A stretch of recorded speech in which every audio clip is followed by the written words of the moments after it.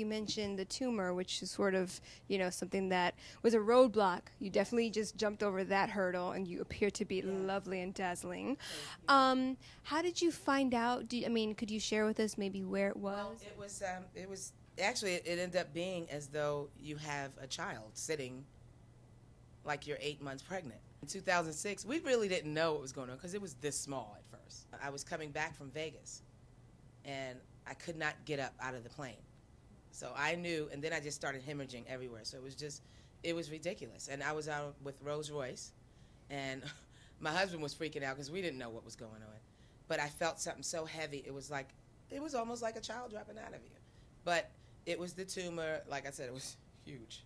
It looked like a pumpkin. When I look at back at it, my husband carried the picture everywhere and showed everybody. Uh, I was like, "Great, honey, tell tell everybody what it looked like inside." but he was so happy that it's gone, and that reminded us both of what can kill you.